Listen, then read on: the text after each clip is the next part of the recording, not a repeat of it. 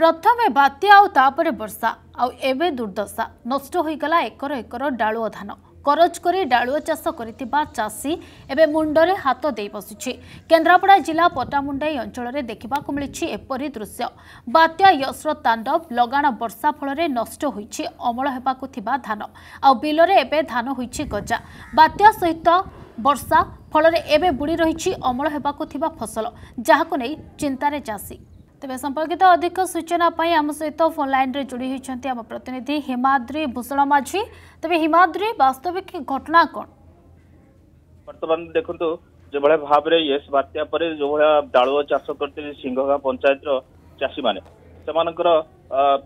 কর্জ নেই এবং বিভিন্ন প্রকার পনিপরিবা সহিত ডালুয়া চাষ করতে কিন্তু এই যে বাত্যা পরে পরে নদীরে পানি বড়ি যেত হেতু তাঙ্ক ফসল হানি হয়েছে সেমানে অভিযোগ করছেন ତେବେ ହିମାୟତରେ ବର୍ତ୍ତମାନ ସୁଦ୍ଧା ପ୍ରଶାସନିକ ଅଧିକାରୀ ସେମାନଙ୍କ ପାଖରେ ପହଞ୍ଚିଲେଣି ନା ନାହିଁ ସେମାନଙ୍କ କ୍ଷୟକ୍ଷତିର ଆକଳନ ହୋଇଛି ନା ନାହିଁ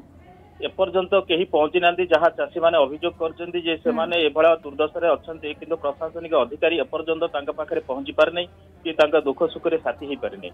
ବାରମ୍ବାର ଏଭଳିଆ ଅଭିଯୋଗ କଲେ ମଧ୍ୟ ପଟ୍ଟାମୁଣ୍ଡାଇ ଅଞ୍ଚଳ ଯୋଉ ପ୍ରଶାସନିକ ଅଧିକାରୀ ଅଛନ୍ତି ସେମାନେ ଏଥିପ୍ରତି ଦୃଷ୍ଟି ଦିଅନ୍ତି ନା ବୋଲି ସେମାନେ ବାରମ୍ବାର ଅଭିଯୋଗ କରୁଛନ୍ତି হিমাদ্রি তবে বাস্তবিক কেতে চাষী অনেক যার এভাবে স্থিতি উপজুছি চাশ রু পচাশ জন চাষী অনেক মিনিমম দুইশ একর বলে সে যা কুমার সেমানকর চাষ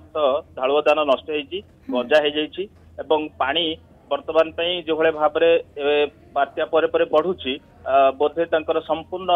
ଧାନ ନଷ୍ଟ ହେଇଯାଇଥିବା ସେମାନେ ଅନୁମାନ କରୁଛନ୍ତି ନିଶ୍ଚିତ ଭାବରେ ହିମାଦ୍ରୀ ଆମେ ମଧ୍ୟ ଦୃଶ୍ୟ ଦେଖିପାରୁଛୁ ଯାହା ଭିଜୁଆଲ କହୁଛି ଯେ ବାସ୍ତବିକ ପୁରା ସମ୍ପୂର୍ଣ୍ଣ ନଷ୍ଟ ହୋଇଯାଇଛି ଧାନ ଗୁଡ଼ିକ କିନ୍ତୁ ପ୍ରଶାସନିକ ଅଧିକାରୀ ବା ଏମାନେ କାହା ପାଖରେ ଯାଇକି ଏନେଇ ଅଭିଯୋଗ କଲେଣି କି